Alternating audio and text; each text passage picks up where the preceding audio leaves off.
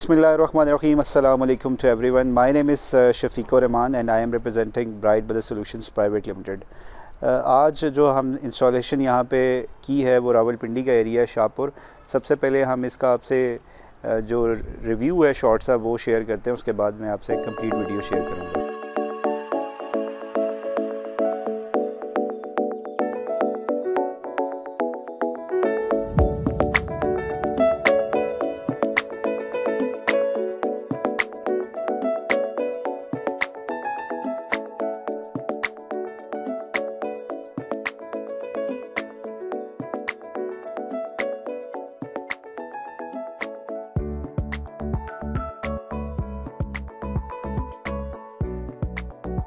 जी जैसा कि आपने रिव्यू देखा आ, ये सिस्टम हमने 5 किलो वाट का जो है वो यहाँ पे लगाया अब सबसे पहले मैं आपको पैनल्स के बारे में यहाँ पे बता दूँ जो हमने यहाँ पे सोलर पैनल्स इंस्टॉल किए हैं।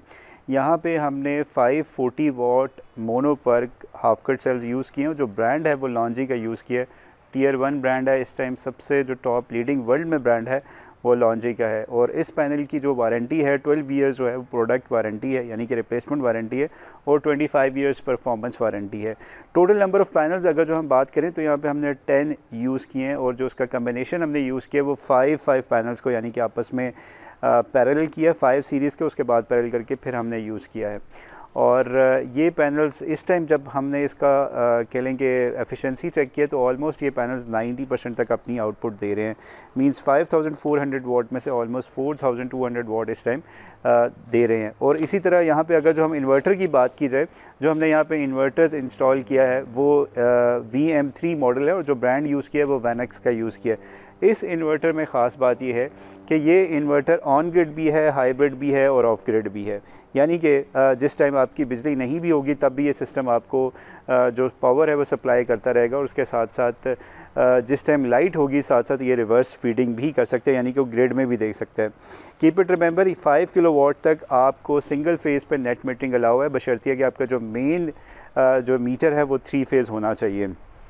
इसी तरह अगर जो हम यहाँ पे स्ट्रक्चर की बात की जाए तो हमने L2 to galvanise structure use किया है फोर्टीन गेज में और उसके बाद हमने इसको रॉवल बोल्ड किया गया ताकि प्रॉपरली यहाँ पे ये स्ट्रक्चर जो है, हवा से, आंधी से महफूज रहे। बीच में एज़ यूजल हमने यहाँ पे भी स्पेसेस दिए हैं हर स्ट्रक्चर में और दो लेयर्स में हमने स्ट्रक्चर यूज़ किया है ताकि स्पेस को हम मैक्सिमम यूटिलाइज़ कर लें। अगर इस फाइव किलो वाट से अब की बात कर लें कि आप कितनी इससे प्रोडक्शन ले सकते हैं या क्या क्या आप एक नॉर्मल जो है हाउस होल्ड जो normal family I think so five kilo watt is sufficient इसमें आप दो एयर कंडीशन भी चला सकते हैं डेढ़ टन के और प्लस अगर जो आप एक एयर कंडीशन चला रहे हैं। उसके साथ बाकी जो लोड है, जैसे लाइट है, फ़ैन्स है, रेफ्रिजरेटर है या वाटर जो पंप है, वो भी आप इसके साथ साथ चला सकते हैं। और ये system with built in WiFi के साथ भी है, यानी कि आप 24 फोर बाई सेवन आप इससे मॉनिटरिंग कर सकते हैं, बैटरीज़ का स्टेटस चेक कर सकते हैं, कितनी बैटरीज यूज़ होगी। यहाँ पे बैटरीज, बाय द वे, जो हमने यूज़ किए हैं, वो टॉल ट्यूबलर फोनेक्स की यूज़ की गई हैं, जिसकी एक साल जो है, वो रिप्लेसमेंट वारंटी के साथ आती हैं बैटरीज़।